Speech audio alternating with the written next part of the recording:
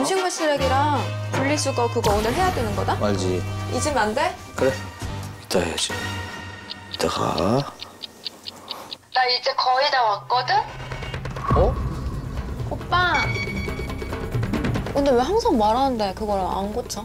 아니 할 거면 진작 했었어야지. 내가 할게. 내가 마음 아니야. 편해. 여태까지 마음 편하게 아주 있다가 편하게 있어. 지금 마음 아니 쉬고 있어. 불편하다고? 쉬고 앉아 있어. 앉아 있어, 앉아 있어.